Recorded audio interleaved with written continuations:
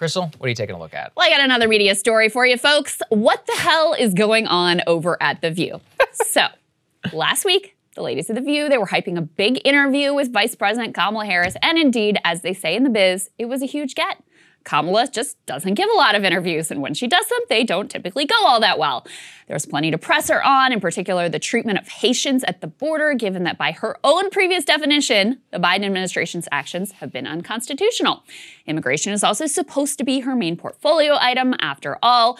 I know you'll be shocked to learn I'm not a huge consumer of The View, but I was planning on checking out that interview after the fact to see if anything interesting happened. And indeed, something very interesting did happen. Shortly before the vice president's interview was set to begin, this little scene unfolded on set. Two of you to step off for a second. Okay. Ana and and uh, and, And we're gonna bring you back later. Have to Okay, leave. yeah. Yes.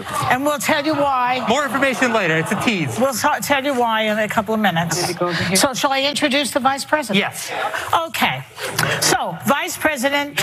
No. Nope. Okay. Shall we dance? Let's do a tap dance. Let's get this.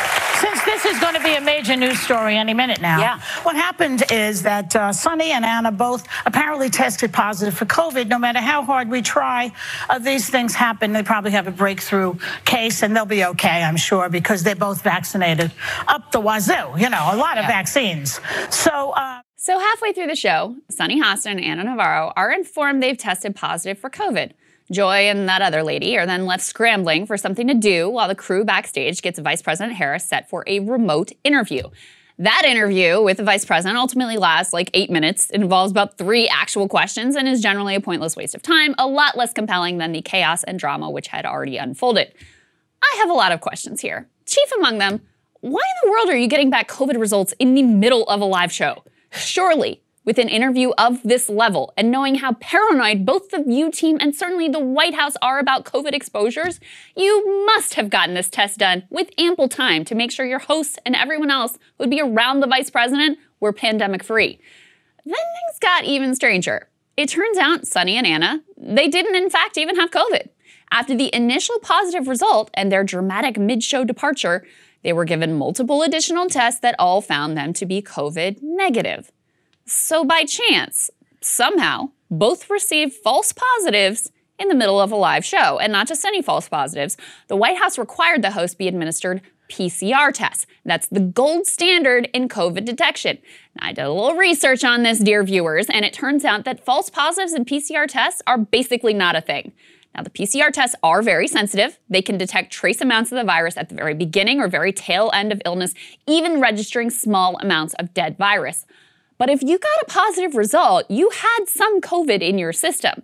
So we're being told that not just one, but two hosts received stunningly rare false positives and were taken out of commission just long enough to create a lot of drama and tank the VP interview.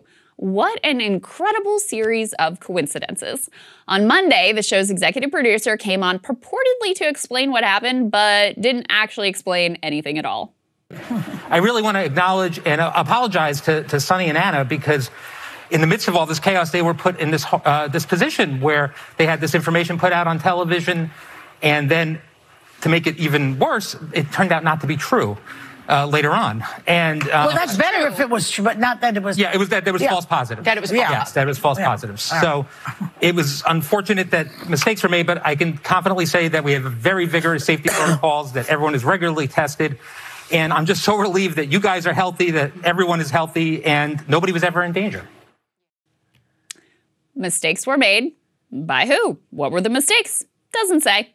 Now, the last part of the story is reported yesterday by Oliver Darcy at CNN is that reportedly the vice president's office has not been able to get any answers out of them either. According to Darcy, the View had given an all clear to the White House on Thursday night before the interview, indicating that all of the hosts' PCR tests had come back negative. So the vice president's team was allegedly very confused and taken aback when suddenly mid-show these positive COVID tests suddenly emerged. Crazy. Darcy writes that, according to a person familiar with the matter, the View has not been forthcoming with the vice president's office, leaving Harris's staff deeply concerned about what actually happened. Look, guys, I know this is not the most important story in the world, but this whole thing does not add up. Some piece of the puzzle is being hidden here. One more incident to add to the list where we are clearly not getting the full story from our supposed truth tellers. And look, Kamala Harris is vice president, and she certainly believes she might be the nation's next president. The press has precious little access to her. I want to know why one of the few opportunities to ask her some questions got so incredibly bungled and shortchanged by an incredible cascading series of coincidences. But isn't it nice how well this worked out for all the players involved? The View got some dramatic programming, fueling interest, certainly fueling ratings. The vice president got to technically do a big interview on a challenging week for the administration, but it only lasted eight minutes. The questions were easy with no time for follow up, and the substance of our interview was utterly drowned out by the bizarre chaos that played out instead. A cynical person might even say that this could not have possibly worked out better for The View and for the vice president if they had planned it.